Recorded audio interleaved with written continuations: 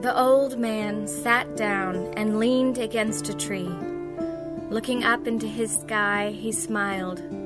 These are good animals, he said to himself, and I am curious to see who is most generous.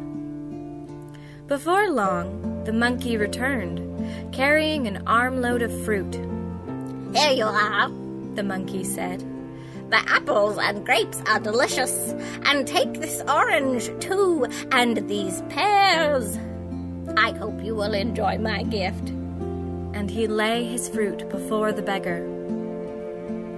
Thank you, my friend. You are kind. The beggar said, and before he had finished speaking, the fox raced into the clearing. He carried a large, warm loaf of bread in his arms, and this he laid before the beggar.